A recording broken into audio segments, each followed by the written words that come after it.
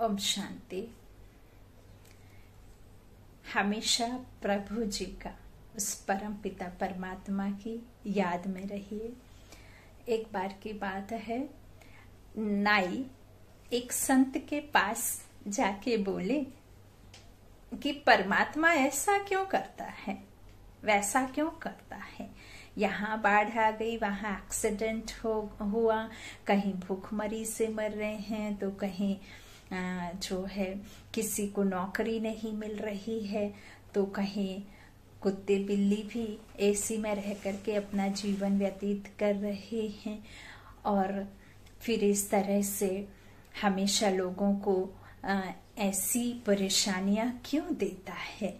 संत ने उसे एक भिखारी को दिखा के पूछा, इसके बाल बहुत बड़े हैं। दाढ़ी भी बहुत बड़ी बढ़ी है। तुम्हारे होते हुए ऐसा क्यों है?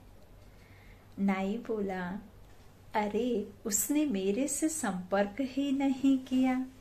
तो संत ने कहा, बहुत ही मुस्कान के साथ जवाब दिया, यही तो बात है। जो लोग परमात्मा से संपर्क करते हैं, उनका दुख खत्म हो जाता है।